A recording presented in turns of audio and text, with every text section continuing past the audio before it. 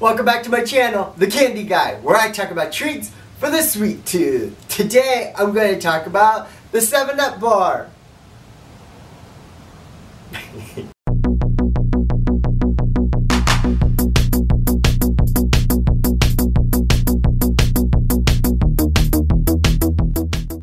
so where's my 7-Up bar?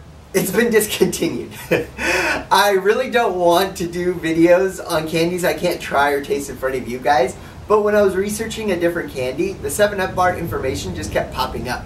And I found it really interesting and fascinating. So I decided I'm going to share it with you guys. So here we go. The 7-Up bar was created by the Trudeau Candy Company in St. Paul, Minnesota. Sadly, I don't know what year it was introduced. That information seems to have been lost in time. I do know that in 1951, the Pearson's Candy Company acquired the 7-Up bar from the Trudeau Candy Company. Pearson's made the 7-Up bar for 20 years. Sadly, in 1971, the bar was discontinued, partially because of manufacturing costs, and also the rights were purchased by a bottling company. Unnamed bottling company is what I found online. What does that mean? I'll tell you the truth. It means pretty much that the 7-Up company, the soda company, bought the rights to the name because probably they didn't want competition with another name out there. So, if you want to blame someone for no more 7-Up bar, 7-Up company, they own the rights to the bar. They're not going to release it. So sadly, there will never be a 7-Up bar. So what was in a 7-Up bar? Why was it called the 7-Up bar?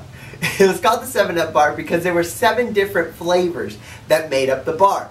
Sadly, those seven different flavors were not consistent over its lifetime. Usually I memorize information I share with you guys, but there's been so many different fillings and changes to this bar that I couldn't memorize them all. So this image right here from Trudeau shows that the candy bar had roasted peanuts, caramel, maple walnut, chocolate pudding, fruit jelly, vanilla cream, and that's only six fillings.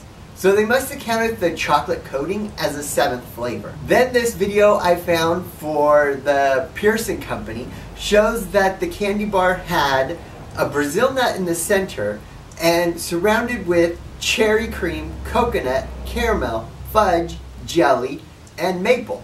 Those are seven different things then coated by the milk chocolate. So the milk chocolate wasn't counted as a flavor. But then I found this other wrapper where it shows that the cross section of the center had mint, nougat, butterscotch, fudge, coconut, buttercream, and caramel. So that's seven different flavors, then coat it in the milk chocolate. If you notice, the shape of the bar has also changed. What? Now and then we get people requesting the 7-Up bar, and we tell them it's been discontinued. But now I know for certain it's been discontinued and never coming back. The weird thing is, if it did come back, what version would they bring back? There's been so many different flavors and combinations and shapes. Which bar would be the original bar? Thank you for watching this week's video of The Candy Guy. Links for the Penny Candy Store and myself will be in the description of this video. I post videos every Friday, so I shall see you all next Friday. Have a sweet day. Bye! Please remember to like, comment, and subscribe to my videos, and also share if you'd like. Thank you.